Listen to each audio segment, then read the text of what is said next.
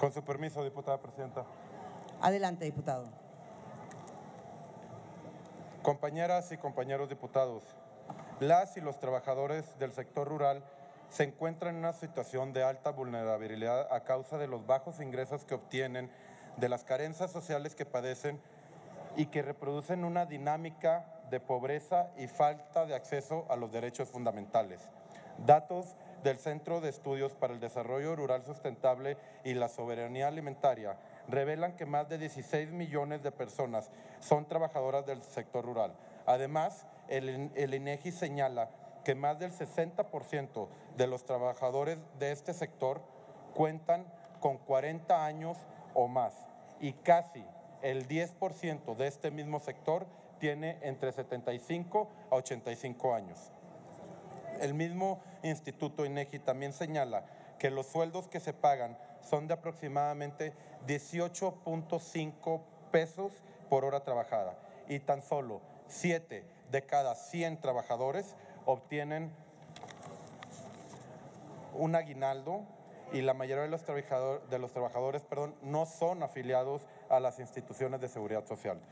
Este panorama obliga al Estado mexicano a tomar acciones concretas para garantizar el acceso de todos y todas los trabajadores del campo a un retiro digno, lo que constituye un derecho fundamental de todos los trabajadores. Los derechos de las y los trabajadores del campo durante años han sido vulnerados, siendo este gremio uno de los más olvidados por el actual gobierno. En Movimiento Ciudadano, las personas trabajadoras del campo han sido y seguirán siendo una prioridad.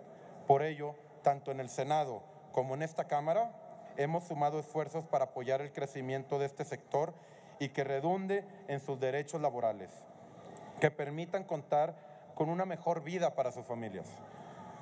Hoy se pretende reforzar la Ley Federal del Trabajo y la Ley del Seguro Social con el objetivo de garantizar mayor protección a las y los trabajadores rurales, así como optar por un ambiente laboral libre de discriminación y de violencia, favoreciendo la igualdad sustantiva a través de la promoción y el fortalecimiento de sus trabajos, contemplando también a las mujeres embarazadas para que gocen de las prestaciones y derechos correspondientes al seguro de enfermedades y maternidad. Desde la bancada naranja reiteramos nuestro compromiso con los trabajadores del campo.